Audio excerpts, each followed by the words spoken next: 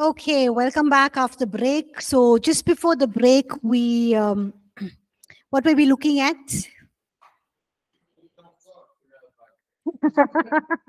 yeah, looking at the kingdom of God, but oh yes, a new perspective. So what were we looking at from a new perspective? The plan of uh, redemption.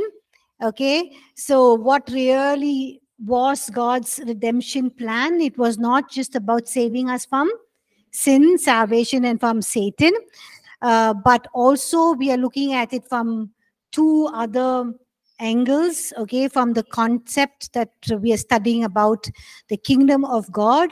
So we see that when Adam and Eve sinned, they gave over their dominion, the authority, and power to Satan Okay, so Satan gained control over the whole earth. It was a temporary control. Okay, and secondly, man's concept of being a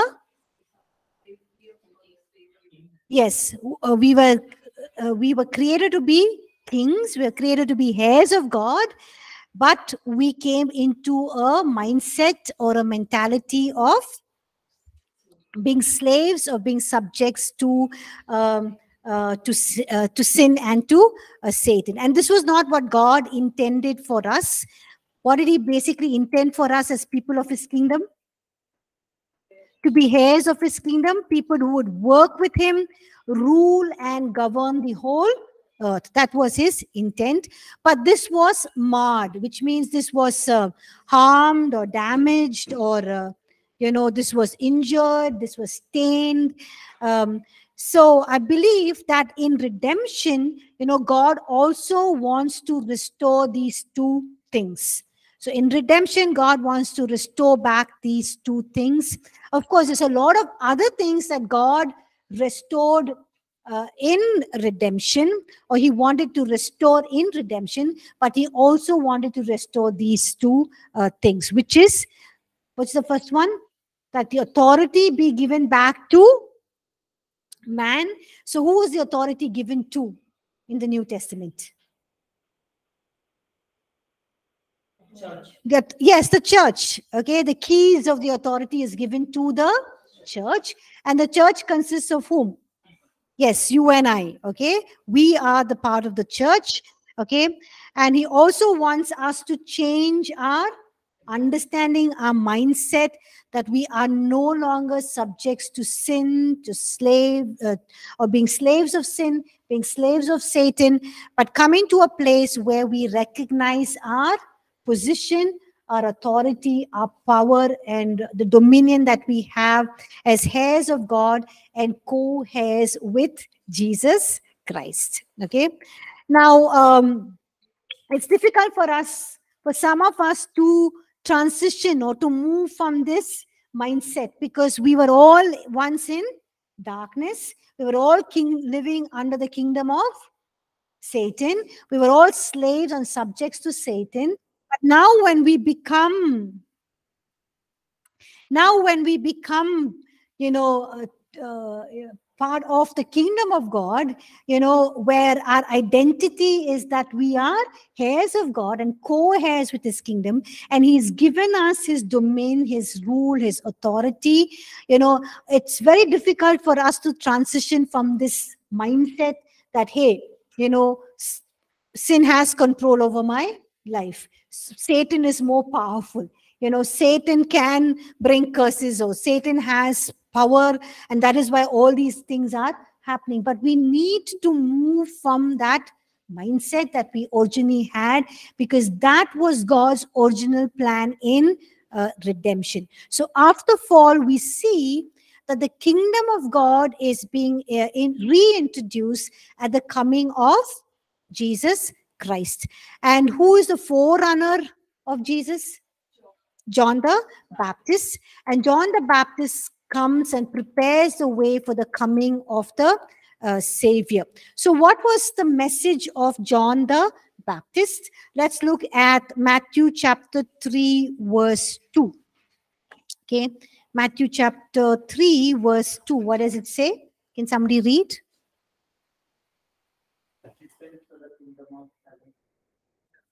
Yes, it says, repent for the kingdom of heaven is at hand.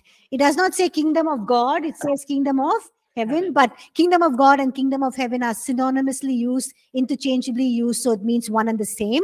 So here it means that repent for the kingdom of heaven or the kingdom of God is here. So what he's saying is the kingdom of heaven has. Come. Okay, the kingdom of heaven or the kingdom of God is invading our fallen world. Okay, did Jesus create, did God create a fallen world? No, it not create a fallen world. Uh, did he create a fallen kingdom?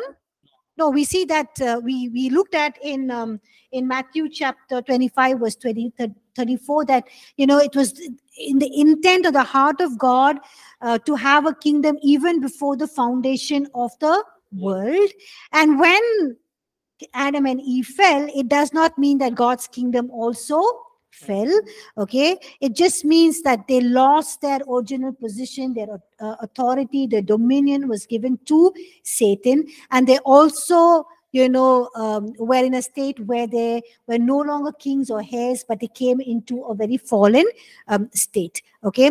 But here we see that god is reintroducing his kingdom because that was in his original heart okay? That after you know redemption god's kingdom would be uh, introduced. So it was in his heart to have a kingdom prepared for people would be heirs will inherit that kingdom and who would be heirs with him. So when jesus comes along right after john the baptist we look at his message in uh, matthew chapter 4 verse 17 what does matthew chapter 4 verse 17 says From the time Jesus began to preach and to say, Repent for the kingdom of God is at hand. Amen. So, what does Jesus began to preach? He says, Repent, For the kingdom for the kingdom of heaven is at hand. Okay. The same thing what John the Baptist also preached was the forerunner. He says in Matthew chapter 3, verse 2, Repent, for the kingdom of heaven is at hand. What is the meaning of the kingdom of God is at hand? It's coming soon. Okay. The kingdom of heaven is at hand means what? started. It is within your reach. It is coming into your world. It is something within your reach. It's coming into your world. So, what is coming? What is uh, within their reach? What is coming into the world? The kingdom of heaven. Okay. So, even as you and I read the Gospels, we see Jesus speaking so much about the kingdom of God or the kingdom of heaven. okay? Uh, yes he mentioned a little bit about the church but we see that he mostly talked about how the kingdom of god is or how it will be or the dynamics of it or the dimension or how the kingdom of god operates or the, how the kingdom of heaven operates. And he talks about this in various parables okay? So jesus was basically saying okay you know i'm going to tell you another secret about this kingdom and then he gives us another story or he gives us another parable that tells us how the kingdom of god is like and uh, you know all the parables that he uh, reveals to us or he talks to us it unveils the different aspects about the kingdom of god okay? So we see that he spent most of his time jesus spent most of his time preaching and teaching on the kingdom of god or the kingdom of heaven okay? Look at what matthew chapter 4 verse 23 says. Jesus went about announcing the good news of the kingdom of god so can one of you please read take the mic please and read matthew chapter 4 verse 23 And Jesus went about all Galilee, teaching in their synagogues, preaching the gospel of the kingdom, and healing all kind of sickness and all kind of disease among the people. So, in the same chapter, we looked at Matthew chapter 4, verse 17. Now we're looking at verse 23. The same chapter just tells us about the ministry of Jesus. It says that Jesus went about all Galilee, you know, teaching in the synagogues, preaching the good news of the kingdom. Okay, the kingdom of God. So, what was he proclaiming? He's proclaiming the good news of what? Kingdom. It wasn't the good news of the church, but it was the good news of the kingdom. Well, by saying that it was not the good news of the church, I don't want to downplay uh, the church, but I want to highlight the fact that you know the kingdom of God is something that is very, very important because we downplay it, we undermine it, we don't think that as that of you know great significance and priority. So we see that Jesus proclaimed the gospel of the kingdom, and also what did he do?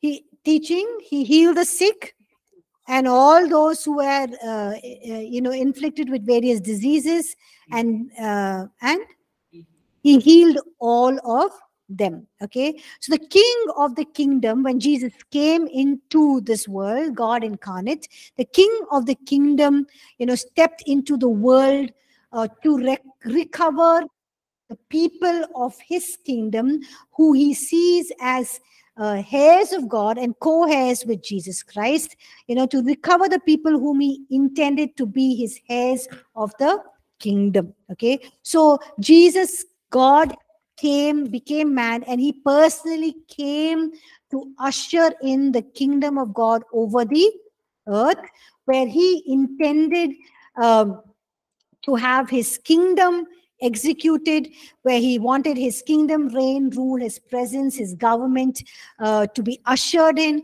He wanted, uh, you know, uh, to have a kingdom uh, where he wanted us to be heirs of the kingdom. But when many earthly kings we see, when you know, when they intend uh, to have a, you know, a kingdom, or when they intend to rule over a certain realm, uh, what do they do? When a king wants to you know conquer another nation or another kingdom what does he basically do? He goes for battle he goes for war. Um, uh, so we see that you know um, they go for battle they go for war. Um, uh, but sometimes the king also just sends his spies or he just sends his army. Okay, he just sends his army, which is led by the captain to conquer his kingdom. Like King Saul sent uh, David to win, uh, to fight many um, battles. Okay, but however, we see that the king of the kingdom of God or the kingdom of heaven is very, very different. Okay, we also saw what was the difference in you know the first hour. But we also see that yes jesus sent uh, or god sent a forerunner uh, named john the baptist to announce his kingdom. But then we see that god or the king of the kingdom personally comes uh, into this earth and he reveals to us okay he reveals to us firsthand you know the nature of this kingdom Okay, so when we see the king of the kingdom come, the son of man come, it was basically Jesus showing us how the kingdom of God is, or um, what is the nature of the kingdom of God, or how the kingdom of God operates. Okay, so we see that modeled in the king. So the king himself comes, the king himself comes firsthand and reveals to us uh, the nature of the kingdom, what it would be like uh, to live in this kingdom, what it would be like to operate as part of this kingdom here on earth. So for us, it's not going to be very difficult to know hey what is this kingdom? How should we operate? How should we live? Uh, what are some of the things we should follow? What are the do's and don'ts? But everything we see already modeled in the the king of the kingdom who came and lived here on the earth. So Jesus modeled to us the kingdom of heaven here on earth. And then he left us an open invitation for those who are interested to be part of this kingdom. Yes, we see in Genesis chapter 1, we saw in 27 and 28 that when, when God created man and woman, he said, have dominion over the fish of the sea, the birds of the air, and over everything that is there on the um, earth. He gave us that dominion and that authority. But then we passed on that authority to Satan, and he's in control for the time being. But we see that many of them are still under the dominion of Satan. And so, here is the king who is coming to usher back his kingdom, his bringing back his rule and reign. And here is an invitation.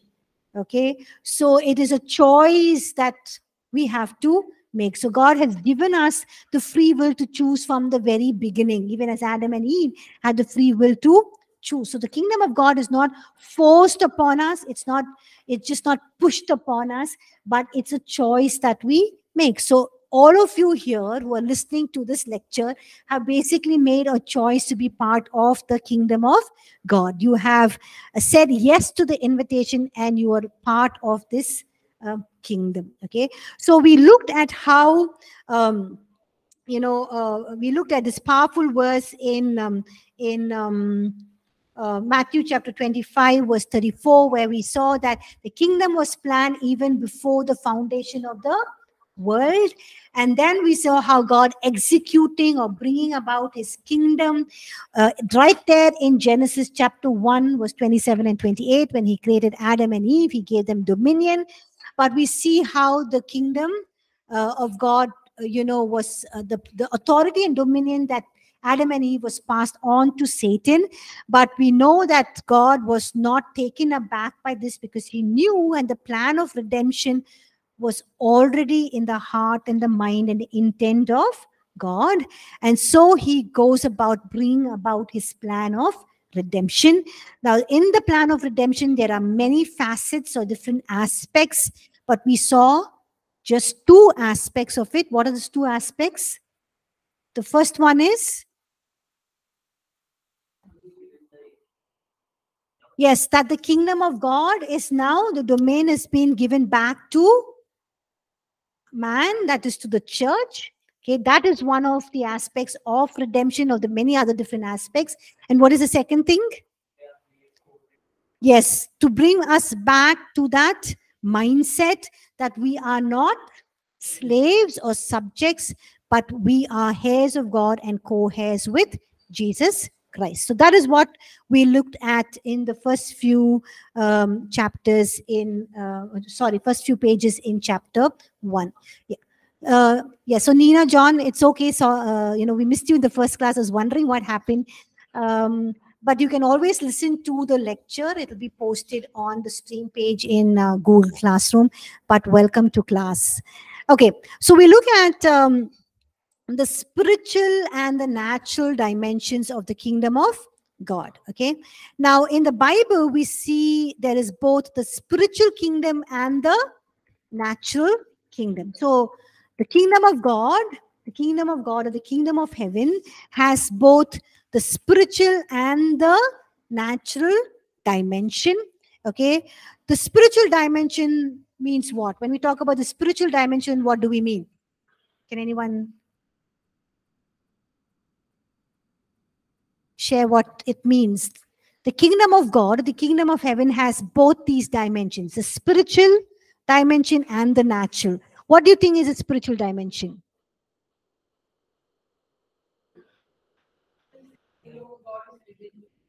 Very good. Thank you, Nina Santosh. So this the spiritual dimension is basically has to do with the the rule, the reign, the government, the power of God that is expressed in the hearts and lives of the people. Okay, so that is the spiritual dimension. And what is the nat? Uh, what is the natural dimension? Okay. Okay, when uh, we see the uh, the spiritual dimension being released in and through our lives, in the natural world, in our spheres of influence or wherever God has placed us. Yes, Rin, what did you say? Okay, where we are placed and where we as sons and daughters execute God's reign, rule, his activity, his government, and his um, presence. So, what can you just take the mic, please?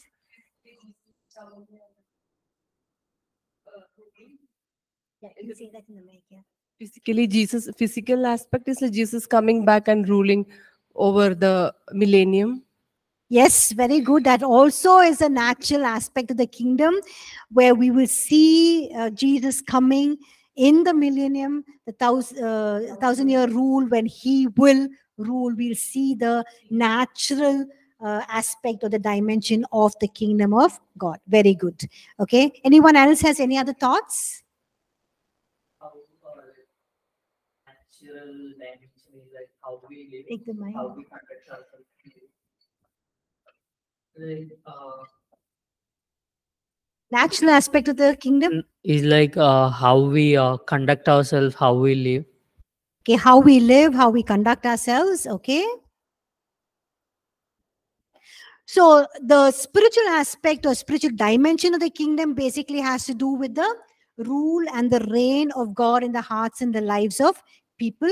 Okay, so that is a spiritual dimension. What and it's also what you and I are experiencing uh, now. Really, is the rule and the reign of God or the kingdom of God in its spiritual dimension. So, what all of us are experiencing now. Okay, this is called Augustine Dinesh Kumar. Okay, I really don't know if all of these students are part of the class, but okay. So, what you and I are experiencing now is really the rule and the reign of God. We're actually experiencing the spiritual dimension of the kingdom of um, God. Okay, but then there is also the natural dimension. Okay, and that is the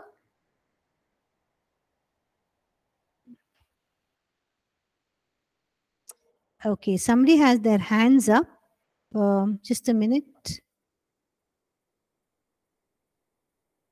Okay, no. Okay, I thought somebody put their hand up. Okay. Yeah, there's a question. What's the question? In the meanwhile, uh, don't we represent the kingdom of God till Jesus comes? Yes, we do. We are because we're experiencing the spiritual dimension of the kingdom, but it's not just the kingdom that is in our hearts and in our lives. Like we said in class one, um, Nina John, you were not there in the first class. So we said that it's, uh, you know, uh, God's kingdom rule and reign in our hearts and lives, uh, which then translates out through our hearts, through our lives, into the spheres of influence that God has placed us, or in the places where God has um, put us in the realm of authority. We are through our lives, uh, you know, uh, we are to bring out God's rule, reign, government, His presence here on the earth. Yes. Uh, did that help, uh, Nina John? Yes, So thank yes, you, uh, Pastor. Yeah. The church. Sorry. Yeah. Yes, go ahead, Nina.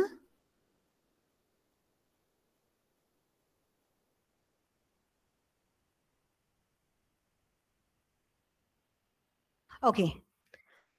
Yes, Sean.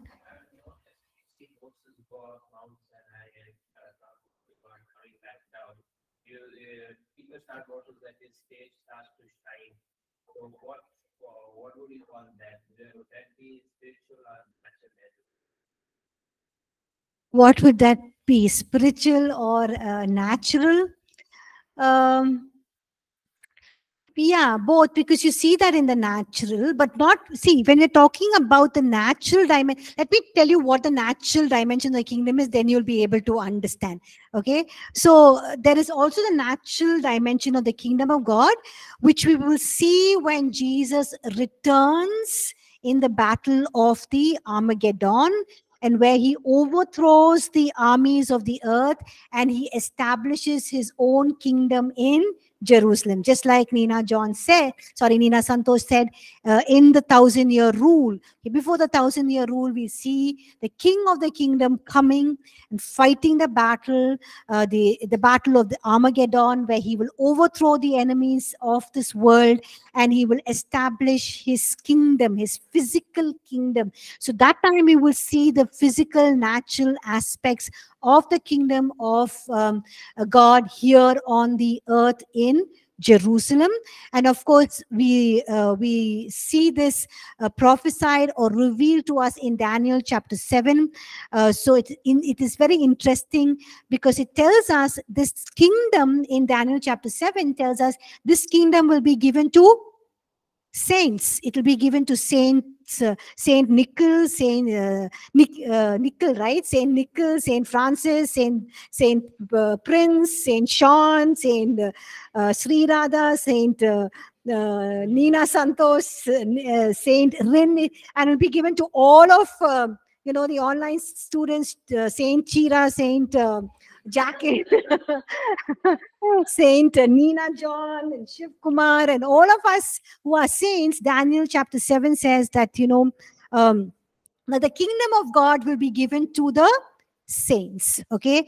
And we will administer the kingdom of God. Jackin says amen to that.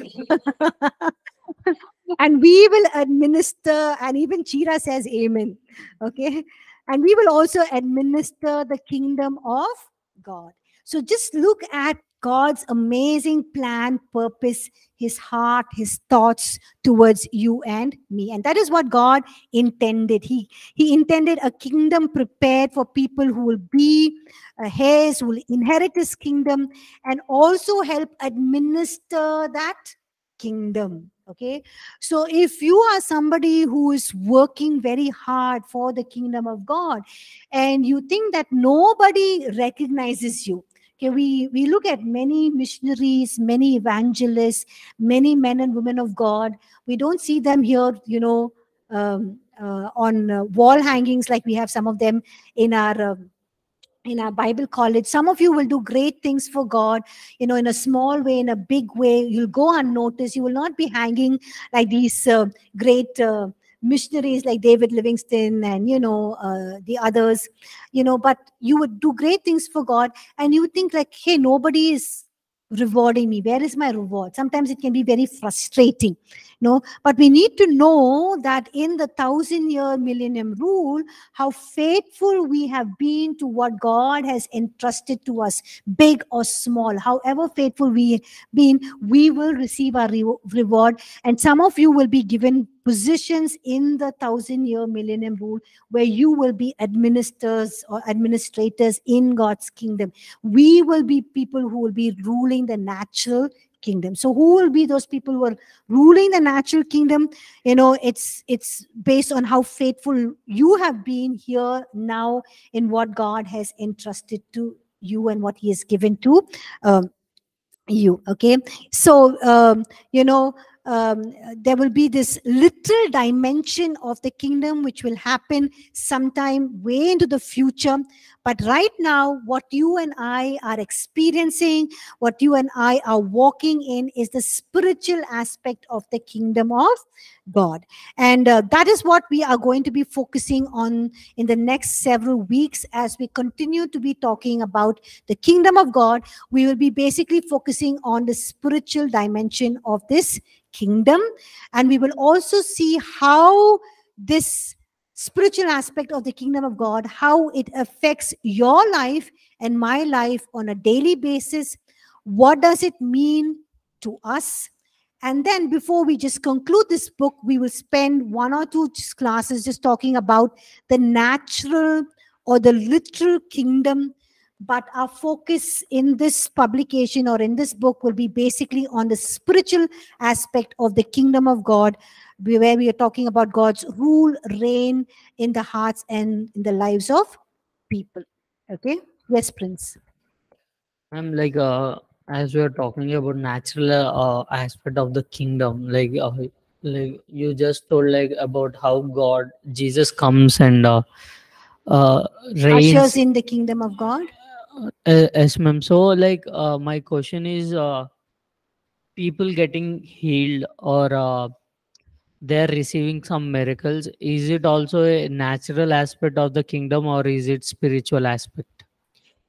that is what the spiritual it is a spiritual aspect but that is translated in the natural we see that happening in the natural okay so it's not that it's that's we don't see anything in the natural it's all just happening in our hearts and lives no it is it is birthed out of the Holy Spirit is birthing it out of from our hearts and lives, but we see that in our spheres. We're actually ushering the kingdom of God, His rule and reign. We see it. We need to see it in the uh, uh, in the natural, but the the fullness of the natural aspect or dimension of the kingdom will, of God will be seen when the King Himself will come and rule in the kingdom. Okay, but uh, where is uh, you know we are born again in our spirit man. Where is God? In us is he is in us right? So it is it is him working in and through our lives and that is seen out in the natural. But then we will see the fullness of the natural aspects the natural dimension of the kingdom of god when the king himself comes to rule and reign here on the earth. His very presence ruling and reigning on the earth. So coming back to sean's question about moses you know yes moses the glory of god was just reflected on his face. But also, we know that God has given us uh, his sonship glory, right? We learned in Christology, John chapter 17, uh, we've been given the sonship glory. And we see the glory of God manifested in and through our lives, who we are and what we do. Okay, through the fruit of the Spirit and the gifts of the Spirit. Yeah. Any other questions? So that is the spiritual aspect. So that would be the spiritual aspect then of uh, Moses when it comes to Moses. That would be the spiritual dimension of the kingdom of God, you're saying? Yes.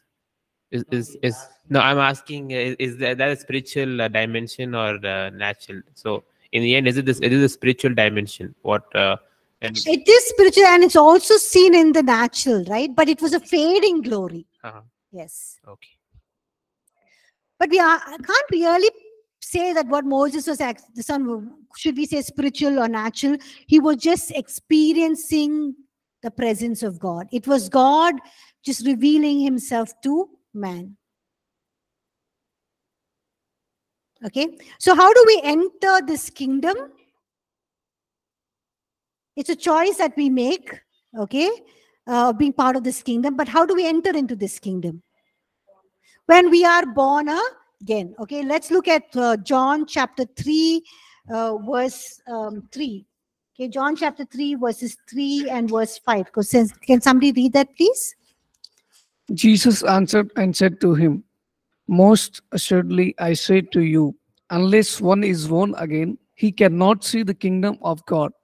Jesus answered, Most assuredly I say to you, unless one is born of water and the Spirit, he cannot enter the kingdom, kingdom of God. So here Jesus says, unless a man is born again, he cannot see the kingdom of God. Okay. So it means to be a partaker of or to be part of the kingdom, it says that you must be born again. Okay. And when you're born again, you become part of the kingdom. And it says here that you have to be born from above. Okay. So it's basically to receive spiritual transformation uh, that only God can impart into the human heart.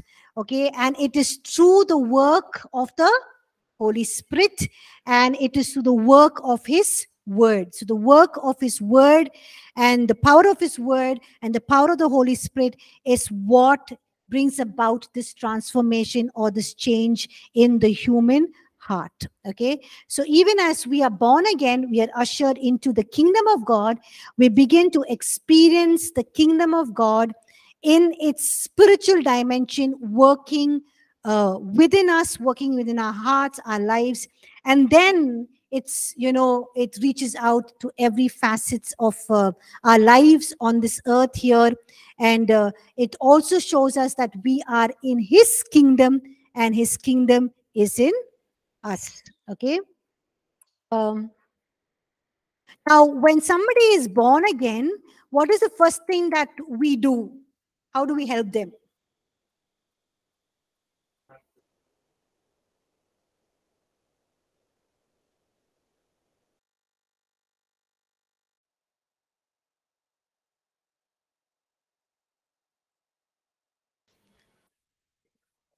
Okay, when somebody is born again, what is the first thing that we do?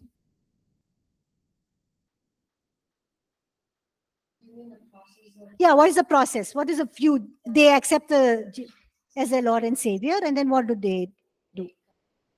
Okay, we lead them in a salvation prayer, and then what do we? How do we help them? Baptism, okay.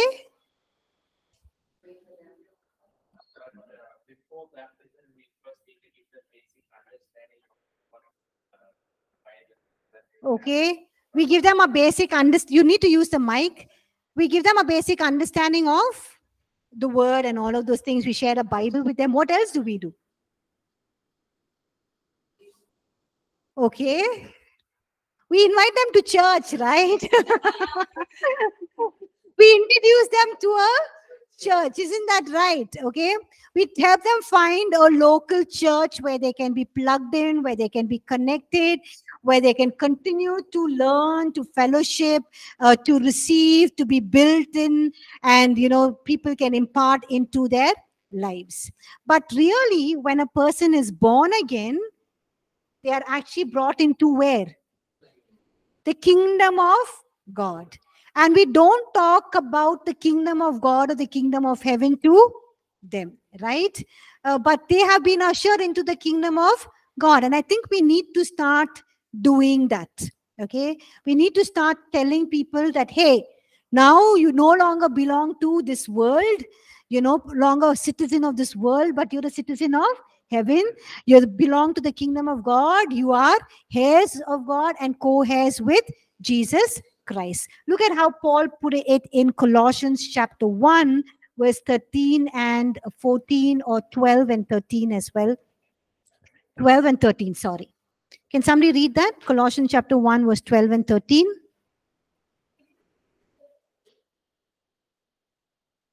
giving thanks to the Father who has qualified us to be partakers of the inheritance of the saints in the light. He has delivered us from the power of darkness and conveyed us into the kingdom of the Son of His love. Amen. So when we got saved, what did God do? He did something, right? What did He do? He delivered us from darkness. He transferred us or joined us or made us part of His kingdom. So now we are part of the kingdom of God, and the kingdom of God is where? Within us. Okay, you've been born into that kingdom.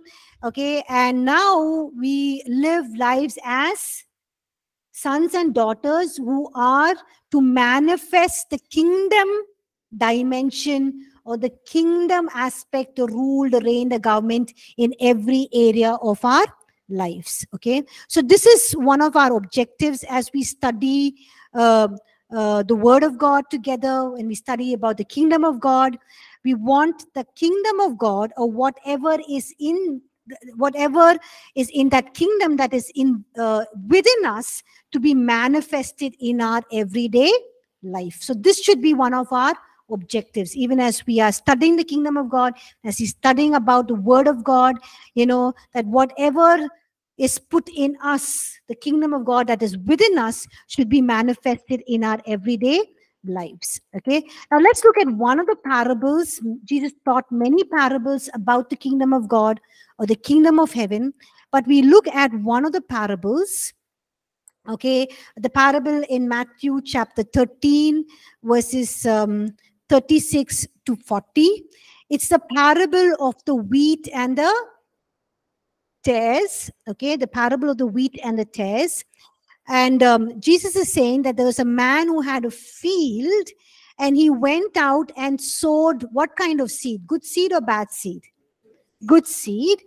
And uh, he was expecting wheat in his field so the seed that he sowed was wheat and he was looking for the uh, wheat uh, plants to come out and the grains to come out so we see that you know the plant springs up but then the enemy comes along and starts to sow tares in that field. And the tares also spring up. That means just weeds, you know, comes and grows alongside the, the wheat, the plant, the, you know, and then he uh, concludes the story And when he concludes this parable or the story, his disciples come to him later and ask him, What is the meaning of this story? Or what is the meaning of this parable?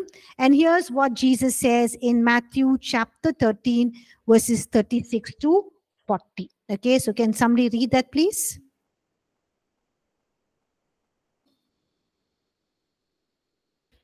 Uh, Matthew 13, 36 to 40. Then Jesus sent the multitude away and went into the house. And his disciples came to him, saying, Explain to us the parable of the tares of the field. He answered and said to them, He who sows the good seed is the Son of Man. The field is the world. The good seed are the sons of the kingdom, but the tares are the sons of the wicked one. The enemy who sowed them is the devil. The harvest is in the end of the age, and the reapers are the angels.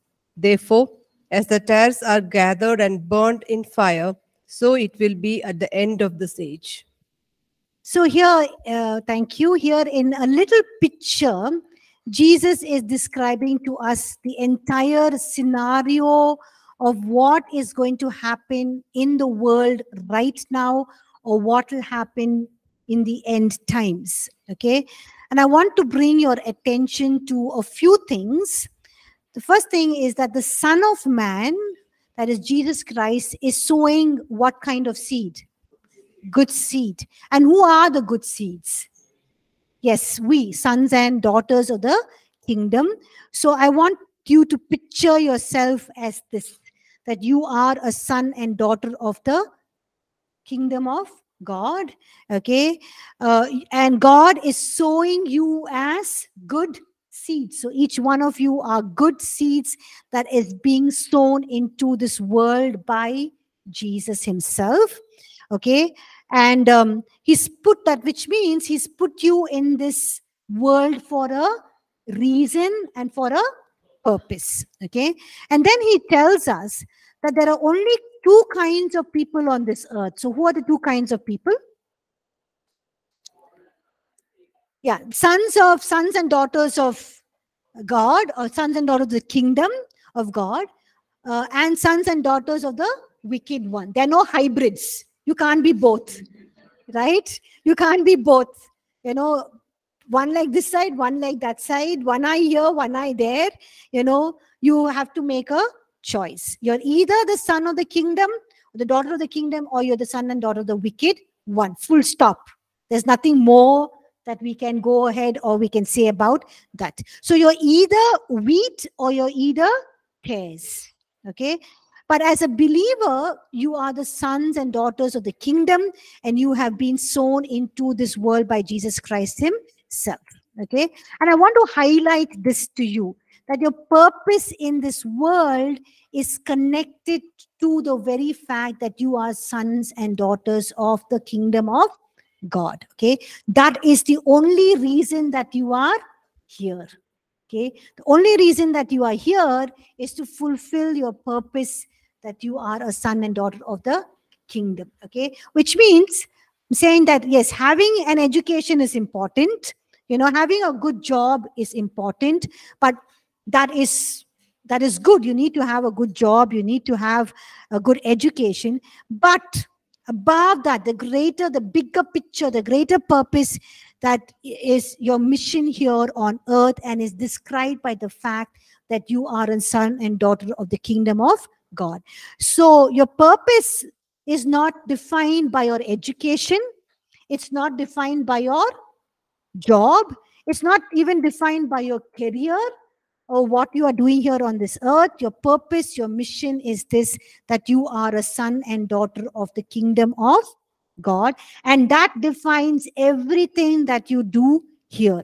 Yes, your job, your career, your um, education are all means through which you express this fact that you are a son and daughter of the kingdom of God. So, all these are tools or means through which you are uh, bringing about the kingdom of God, or you are expressing this fact that you are a son and daughter of the kingdom of God. So, all these are avenues, they are places, they are venues to the fact that you are the seed that is sown by the by God Himself, by the King of this kingdom Himself, that is Jesus Christ, on this earth, and you are, and it's being expressed through you, which means you are being put on display. Okay, you've been put on display. Okay, so in this first challenge, uh, first lesson, you know, I just want to challenge you with this. Um, you know, I want you to be challenged, or I want you to challenge you with this fact or this truth that we need to operate from a kingdom of God's perspective. Okay, so if you are a son and daughter of the kingdom of God, how would you live your life? Or how would you operate if you saw everything from this perspective that you are a son and daughter of the kingdom of God? What would you do if you have this perspective? Where would you go? Okay. Or what would you strive for? Or where would you invest your time and your energy and your if, uh, your efforts if you saw yourself as the son and daughter of the kingdom of God? Because this is God's mandate for you. This is God's mandate for me. This is God's plan, His purpose for you and me. Because He wanted to prepare a kingdom of people who will inherit His kingdom, would be heirs with Him in that kingdom and that is what God is unfolding right now in and through you and me. Okay. So each one of us have been born again. We have made this choice to be part of the kingdom of God, and the kingdom is in you. So the question now is, you know, would you and I want to or like to or desire to live from this kingdom perspective? Okay, this is something that you need to answer your uh, for yourself. This is what you need to think for yourself you know. Would you and i uh, you know choose to live as sons and daughters of the kingdom?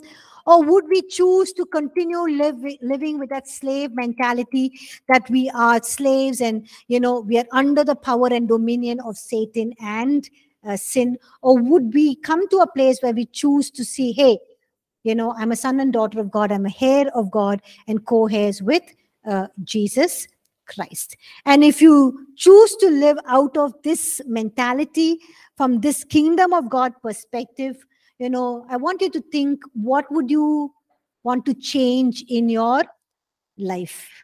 What are some of the things that you want to change in your life? Just take a moment to think or how would life change for you and me if we are going to live from this kingdom perspective? For some of us, it will be changing our mindset, right? We'll think of us more very lowly, very small about ourselves. I want you to think how would you and I live out of that kingdom perspective?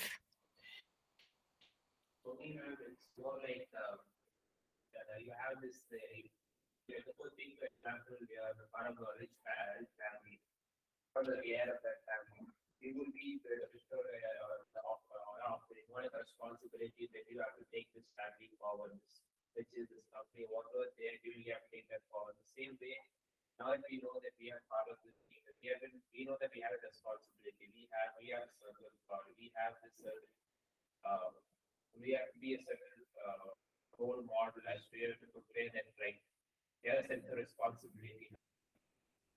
That itself like uh, makes you uh, that itself is what makes you change your way of thinking. You know, how can I portray this better? How can I portray that I am? Uh, how can I be the proper role role model? Yes. Yes, thank you. Thinking from a higher plane, a higher perspective of how God sees us and thinks about us. Some of us should rise up, you know, from that pit of mighty clay and where we look at ourselves very low and very demeaning way. You know, we need to be kind to ourselves and think of how God thinks about us. Anyone from um, the online class would like to share? How would you and I live out of that kingdom perspective?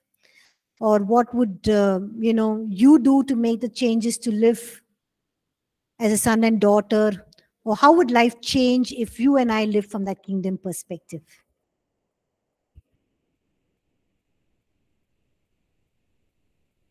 I think we we would look at life with a totally new, different meaning, right? That we have this power, we have this authority. Uh, yes. I think we can take an example from the Bible itself when you come to the 12 apostles. Like before, who were they before Jesus? Who are they after Jesus? Like you can take uh, Matthew himself. Matthew was a tax collector, but after Jesus, he became the apostle. He began to preach the word of God. You know, tax collectors weren't that well liked within the uh, with the people. You know, they mo- mo- most of them uh, didn't like him for various reasons. But God chose him, an outcast, whom the Pharisees and uh, the teachers of the law they said, "Why were you even associating with such a person?"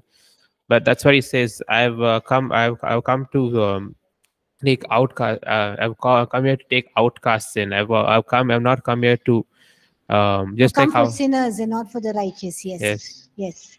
Okay, we'll thank you, Sean. We run out of time, but Jackin says, renewing my mind every day based on the truth of God's word, what he thinks should matter to me, that even uh, that even that of what my loved ones think about me. Yes, what the world says about me, you know, is not what I am, but what God thinks and says about me. Nina John says, God has entrusted the work of the kingdom to us when he ascended into heaven and also empowered us with the Holy Spirit. So we need to keep looking to the word, get instruction, and seek first the kingdom of God through the Holy Spirit. Thank you, Jackin and Nina. Thank you all for joining class. Uh, live from that kingdom perspective, make those changes and those mindsets. And um, I'll see you next week. Okay. Have a blessed day and the week ahead. God bless. Thank you.